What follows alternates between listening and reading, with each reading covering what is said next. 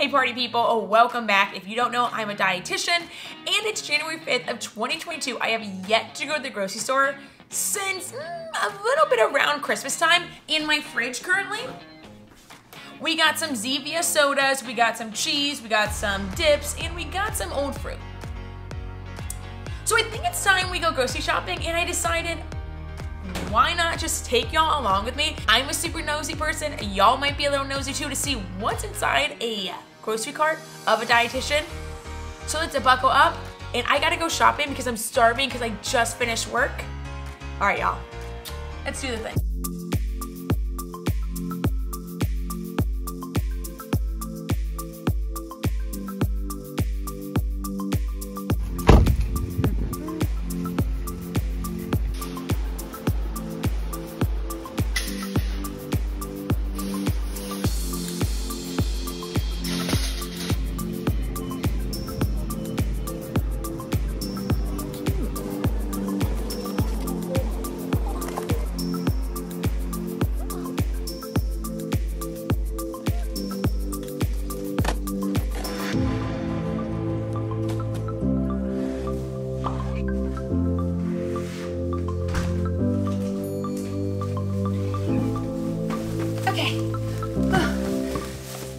I somehow managed to forget two things.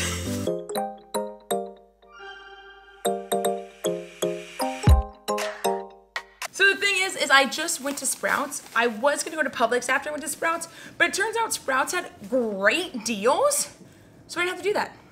Let's see what I got at Sprouts. Be sure to watch till the end because I'm gonna give you three grocery store challenges, guidelines to follow for your next grocery store trip at the end of this video. Let's start with dairy because it's the smallest amount of things I got and we'll just be able to put that away real quick so it doesn't stay out for too long. So my number one thing, I've talked about this before, I just get it out of the way. I finally found the Kite Hill plain cream cheese. The stores I've been looking at have been completely sold out of Kite Hill plain cream cheese. Super pumped about this.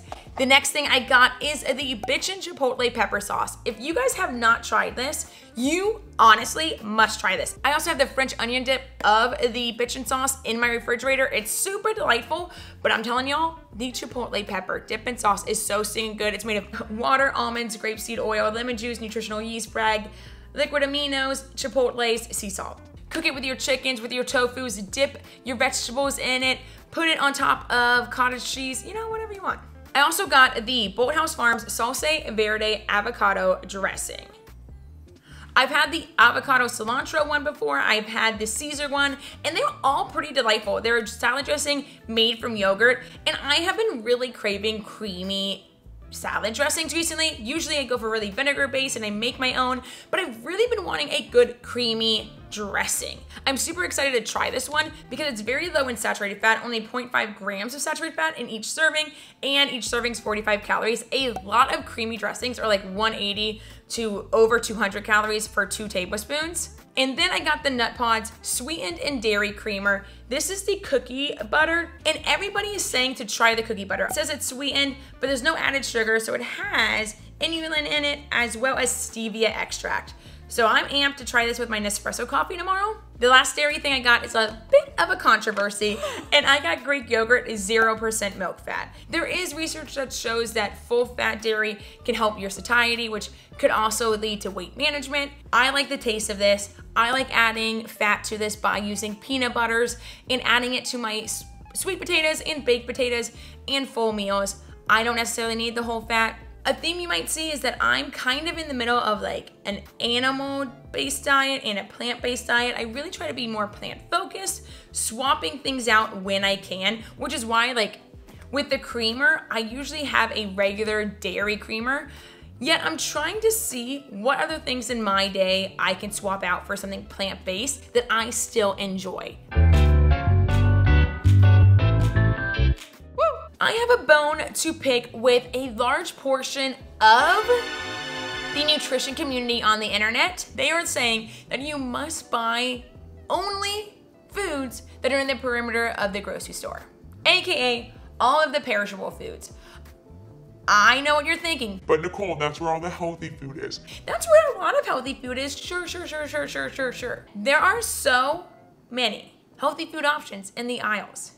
And before you gasp, and before you turn this off, I'm telling you right now, we got beans, we got grains, we got delightful sauces to make cooking easier. We got canned vegetables that have low sodium and low oil. You're also going into the freezer section and you're buying frozen vegetables and frozen fruits that will last you so much longer so you don't waste food.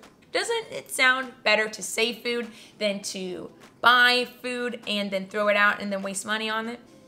I think it does. I'm not saying just go in the aisle. I'm not saying just go in the perimeter. I'm saying like everything else, gray area, my friends. There's healthy things in the aisle. There's healthy things in the perimeter. And let me go through what I bought from the aisle. Freaking live for beans. I know, it's weird. I love beans. When I do plant-based meals, I use so many beans and so much tofu. When you're buying beans, try to buy low sodium or no sodium beans. They help digestion, they help improve mood, they have a lot of vitamins and minerals in them, and they help increase satiety, meaning when you eat beans, you're gonna be full quicker and you're gonna be full longer so you don't snack as much. When you're having a diet full of fiber, you are actually decreasing your risk of so many chronic diseases. So let's keep you out of the hospital, let's keep you healthy, eat your beans. Butter beans, I have not, I can't tell you the last time I had butter beans. And I got black beans because I have been meaning to make overstuffed sweet potatoes, putting some black beans, Greek yogurt, cheese on top of a baked sweet potato. Winner! I know. I also got two canned vegetables to add to my salad to add a little zing. And those are artichoke quarters and hearts of palm.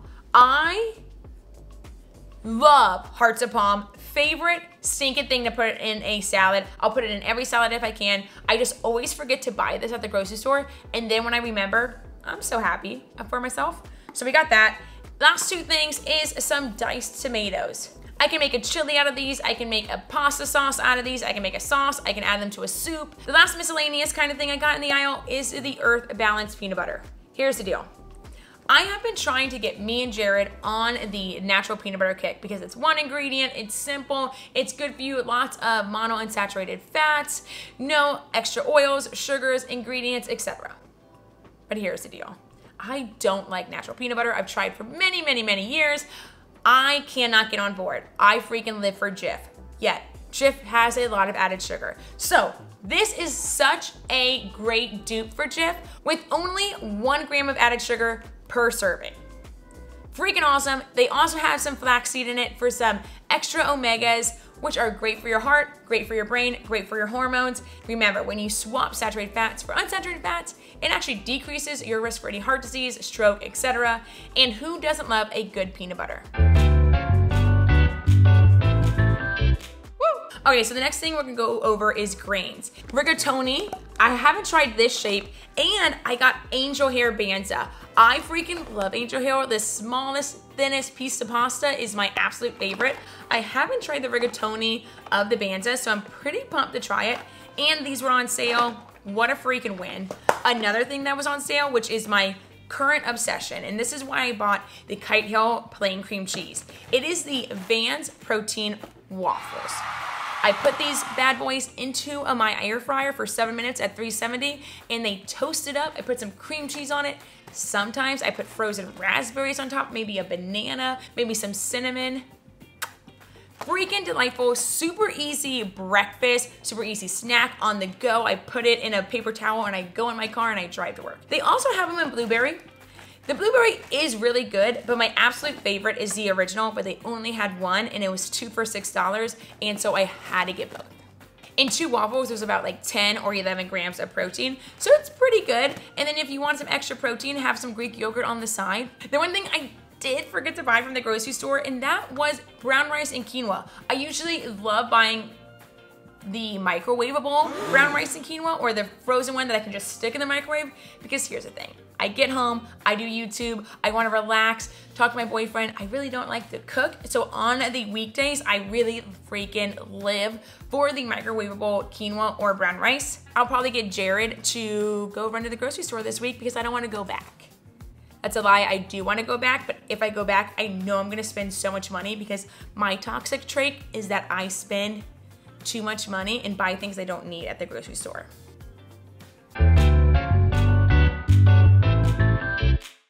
For proteins, I had to get the staple. The one thing I buy every single time I go, and that is eggs. These are the brown eggs, but really brown eggs versus white eggs, not really much of a difference. I used to, when I lived in South Florida, be able to buy farm fresh eggs, and I liked being able to support uh, local farmers in my area. That would be the best thing to do, yet I can't do that here, or I haven't found it yet. The one thing I really didn't need, but it looked so delicious, was all of this salmon.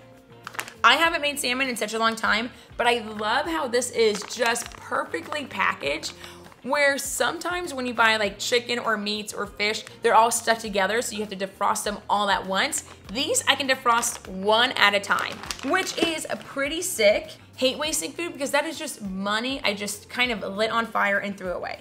Life is too expensive to just buy fresh foods to throw them out.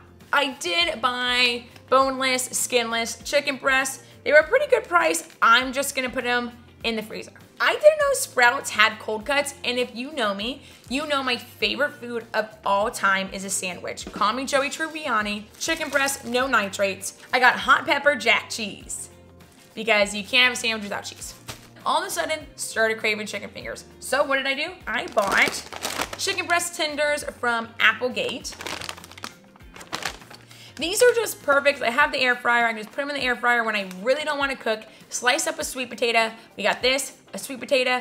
The saturated fat, one gram. The protein, 13 grams. There is less than one gram of added sugar. As far as cholesterol, 13% of the daily value, and sodium, 15% of daily value. I'm really just trying to make sure every sodium, saturated fat, and added sugar is below 15%. the moment you've all been waiting for. The produce, the fruits, the vegetables, the thing that takes up 70% of my diet. I don't really know. I just put that pulled that number out of my pocket. I got crazy corn. I also got cauliflower. I have been seeing so many people put cauliflower in a smoothie. Does it actually taste good? Can you taste the cauliflower? I am going to find out. Frozen veggies, dump them in your air fryer, crisp them up, put some pepper, salt, maybe even some Parmesan. You're dairy free, don't put Parmesan, put some garlic salt on it. Yum. As far as fruit, I got SugarBee apples. They were on sale. I don't think I've ever had a SugarBee apple. Let's give it a shot. I have been craving a pear blue cheese walnut salad. So I got some pears and I got some arugula and I have some blue cheese and goat cheese in my refrigerator already. And I got two grapefruits, only two because I was craving a grapefruit, but I haven't had a grapefruit for years. So I wasn't sure if I actually still liked grapefruit, but adding some grapefruit to maybe like a salad would be cool or a grapefruit with my Greek yogurt to have like a fruit Greek yogurt bowl. I got the boring cooking stuff. We got some sweet onions. We got three heads of garlic because I like to cook. I really don't like to cook. I got two bananas, only two because the bananas really didn't look good. I got three avocados, which please don't tell any of the Floridians. I live in Florida and you're really not supposed to buy avocados. You're supposed to just get avocados from friends and neighbors who have avocado trees and save your money. But here's the deal. I don't have friends with an avocado tree, so I buy them from the store. And I got bell peppers. Whenever produce is on sale, I try to buy all the produce that's on sale because usually that means it's at the peak of the season when it's on sale, which means it has the most nutrients in them. I also got little tomatoes to put on egg omelets, sandwiches, as well as salads. The two greens I always get, kale, arugula. I also got green onions, another boring vegetable, but I have some rotisserie chicken in my refrigerator that I need to use. So I'll make like a chicken salad, put some of this in it, Greek yogurt, mustard, mix it up, salt, pepper, garlic. You got yourself chicken salad. Here's a weird thing I got that was on sale, a pineapple. This is a butternut squash. It has like the texture of butter, slightly sweet. You can put it and roast it in the oven. Oh my gosh, so delightful. And then I got sweet potatoes. I have been on a kick with just cutting up sweet potatoes as little fries and putting them in the air fryer at 370 for 14 minutes salt, pepper, garlic. And that is it, y'all. That is everything I bought from the grocery store. If I could give you three tips for your next grocery store run, it would be this. First, buy some fruits and veggies in the frozen section or the frozen aisle so that your fruits and veggies can last a little bit longer. Two, incorporate a new grain that you haven't tried before. Go down the grain aisle, see if there's something fun that catches your eye, and maybe it's on sale. I love barley and farro. If you haven't tried those, highly recommend them. Buy the quick cooking ones because they can take quite a long time to cook. My third tip is getting outside your comfort zone and buying a fruit and or vegetable you haven't tried yet. A lot of people tell me that they don't like fruits and vegetables. So don't buy the ones you know you don't enjoy. Buy ones you haven't tried yet, buy ones that you kind of like. Go on the interweb, go on TikTok, go on Instagram, and see how people cook with it. Try it out, see what you think. Let me know down below what foods you're buying at the grocery store. What is your favorite food? What is your must have item that you always buy at the grocery store? Until next time, drink your water, eat your fruits and vegetables, be kind to yourself and those around you. And I'll see y'all next time. Bye, y'all. Don't forget to like and subscribe. Bye.